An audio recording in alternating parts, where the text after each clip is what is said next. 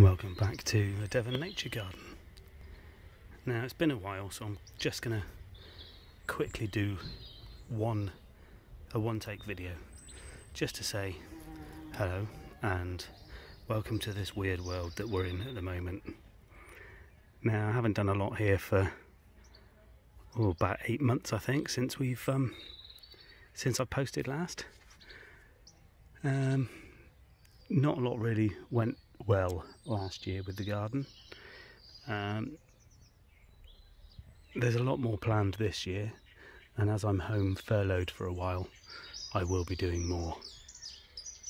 The pots, etc., I did didn't go very well last year. They took far too much watering, so I've done a quick garden behind us here, which I will be doing another video soon. So I will let you know what I've done in that one.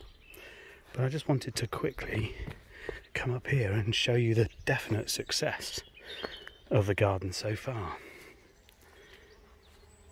Look at these.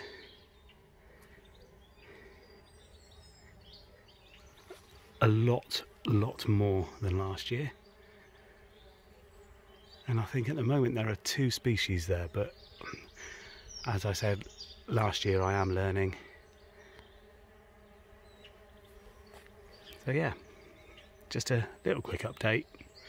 Uh, and during the next week or two, while off, I will do some more. See you soon.